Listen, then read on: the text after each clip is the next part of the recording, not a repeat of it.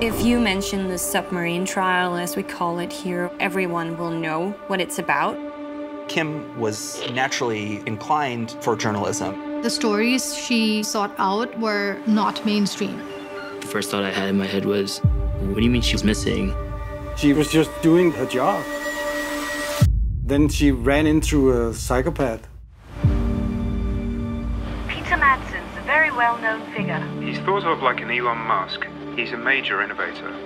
Kim Wall went on the submarine with Peter Madsen to interview him. The submarine goes down.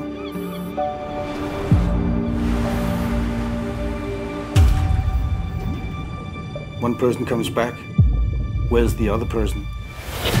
She was taken from the world by an act of violence. He killed her because he could. This court case was a circus. There was some critique of the way it was being covered by media. This victim blaming notion what did the woman do to bring this upon herself? What did she wear? Why did she put herself in that position? I wouldn't have thought twice to go on that submarine because it was the job that she was going to do. She followed the book in every sense of the word. It is the most terrifying case I ever engaged myself in. How on earth did you think you would be able to get away with this? It's impossible to imagine that something like that could happen to someone like her.